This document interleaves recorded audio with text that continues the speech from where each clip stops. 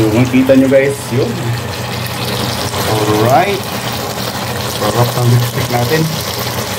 Let's go, kain na to guys. Right. Hello, what's up guys? Ayan, ah, uh, magmamarinate tayo ng beef para gawin nating beef steak. Beef steak binisaya guys. So, ayan. Ah, uh, naglagay na ako rito ng toyo at saka bawang, soy sauce, bawang, ayun. Uh, onion, then black pepper. So, nakama, nakalagay na tayo dyan. So, ilalagay natin yung, ano, yung lemon. Yan guys, para perfect yung marination niya. So, lemon ang kulang. So, ayan. Magsuswis lang tayo ng lemon. Then, ibabal natin to siya into 1 hour. Yan guys. Hmm. Sa ganito mga siguro to mga half kilo ito. So mga dalawang perasong lemon ang gagamitin natin. Kasi yun ang nagpapasarap lalo ng, ng beef steak. Beef steak binisaya. Ayan. So, kaya naman tayo ng marination. Mamarinate muna natin siya. Mm.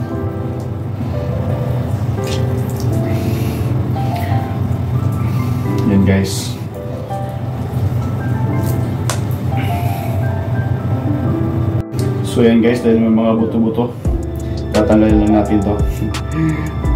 Wala tayong ano eh, pangsala ng ano, kanina. Kaya natin kunti lang yung buto. So tinatanggal lang natin to siya. Yan. So then pwede na siya haluin.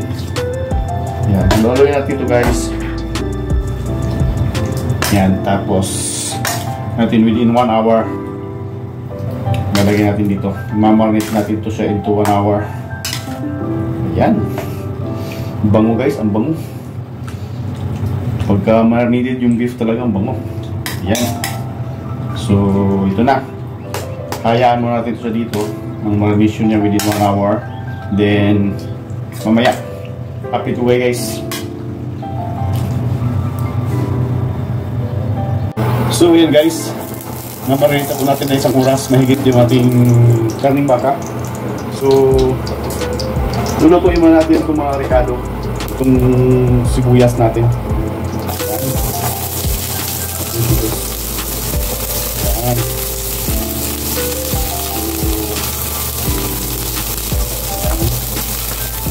Kailangan natin siyang lutuin una. Then, kasi pasayit natin ito siya.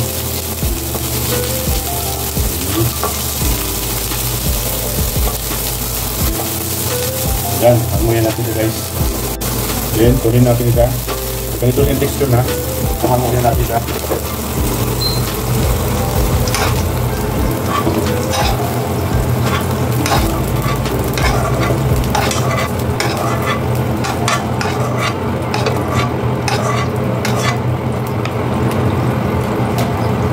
So, yan guys.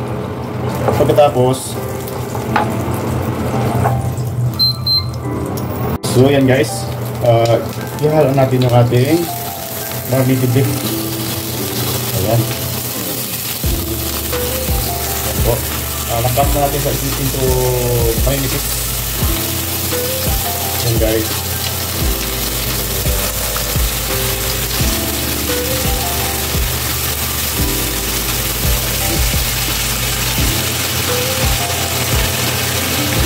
Stir fry mo natin siya.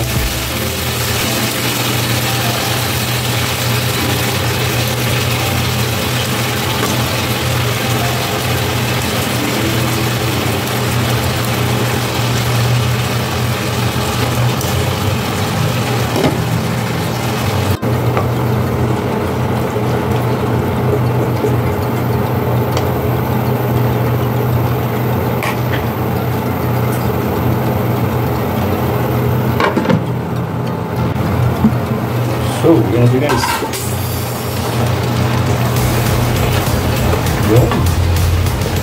Parang half cook na siya guys. Ayan, ganda na ng kulay guys. Mm. So, medyo may tubig pa.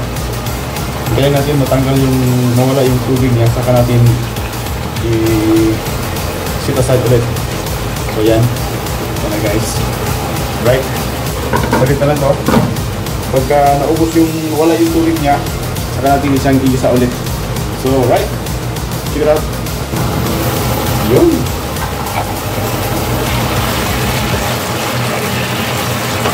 Sarap ng lipsticks natin guys, oh. Kulay pa lang. Alam na. Alam na ang lasa nito.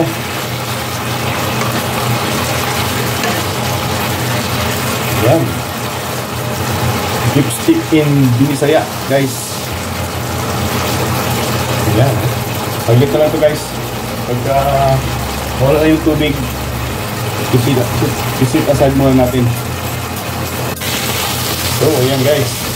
Uh, ubos na po yung tubig niya. So, isisit aside muna natin ito guys. Kasi luto na siya. Yan, ano na, na-stir fry na siya. Ayan.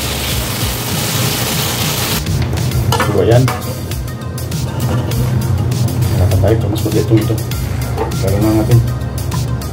Ayan, oh. Ganda. Oops. Ano pa?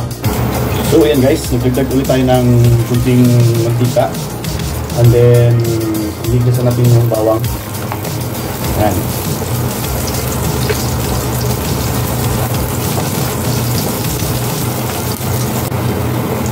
So, ayan guys. Uh, ihalo natin yung ating na stir fry na beef. Ayan. Yun. Guys. So, na, haluin muna natin. And then, yun, ganda ng kulo ng biscuit natin guys. Also, hindi pa sa malambot yung karne guys. And then, yung pinag-marinate natin na tubig, yung soy sauce kanina, Ah, ito yung hinahalo natin ngayon dito. So, ayan. Ayan. Ayan. Right.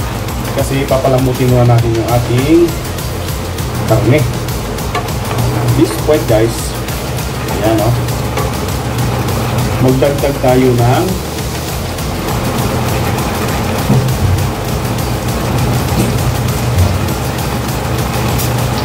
So, ayan, guys magdagdag tayo ng Sprite. Ayan. Pangpa Ito natin lumambot yung ating kami ng baka. So, ito. Ayan.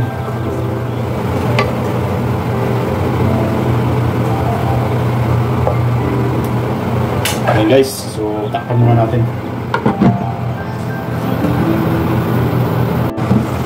So, yan na guys. Yan ako nasa medium heat lang siya. Umaba na yung tubig niya. So, hintayin natin siya ma medyo matigas-tigas pa yung karne. So, antayin lang natin hanggang maging malambot yung karne guys. Uh, for final na yung ano natin. Beef stick. Bisaya style. Right? So, yan guys medyo malambot na. At kunti lang yung sabaw natin. Kunti lang yung, yung tubig niya guys. Dagdagan lang natin. Tikman mo natin yung alat. Yung alat niya. Hmm.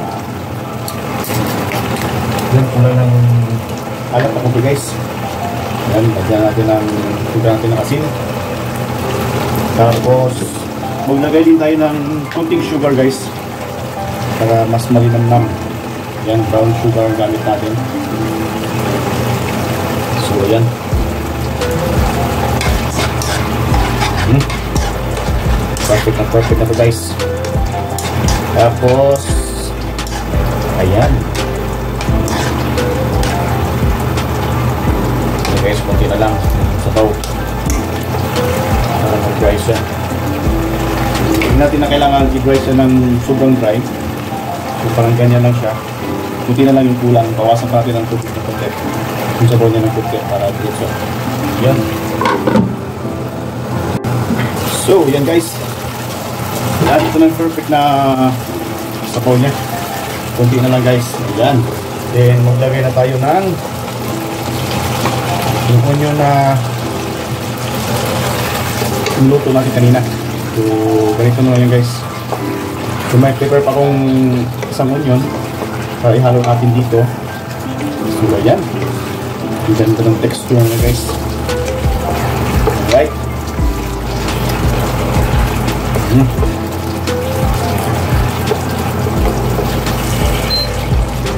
Yan guys, oh. Ganda. So, saglit na to guys. Luto na to. Patakpan mo natin. So, yan guys. Alright. Ayan na yung beef stick natin guys. Napakalapot ng sauce. Perfect na guys. Ayun. Walang katulad ng beef stick. Mm. So, yan guys. So, makikita nyo guys, yun. Alright. Sarap ng lipstick natin. Let's go. Kain na to guys. Alright. Thank you so much for watching Ban. Thank you.